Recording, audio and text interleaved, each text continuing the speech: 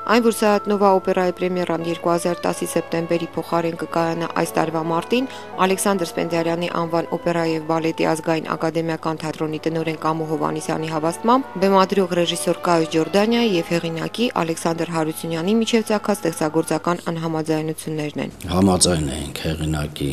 ուրեմն կատարումների հետ, անհամաձայնությունների հետ ռեժիսորի, դրա համար որոշվեց, որ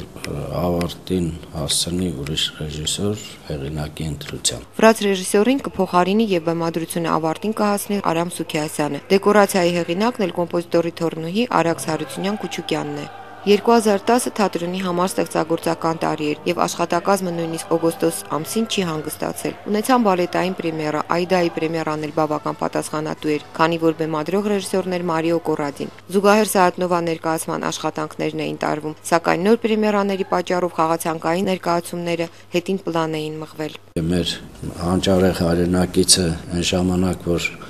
նախագծել է այս շենքը,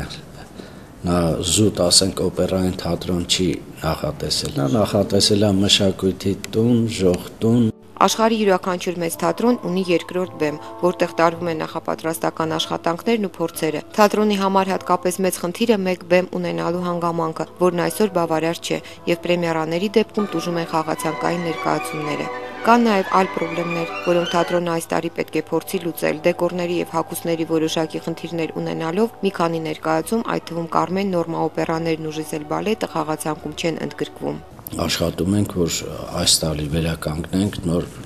ուրեմն էսկիզներով գեղեցիկ նոր հագուստներ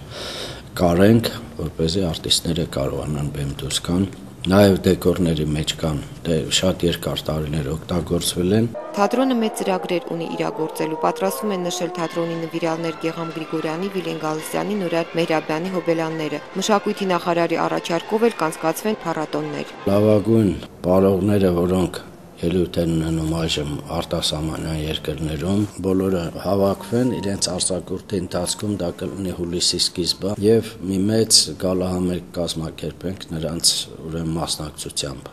Ռուզան Մկրչյան, Հասմիկ Ֆարոյան, IPF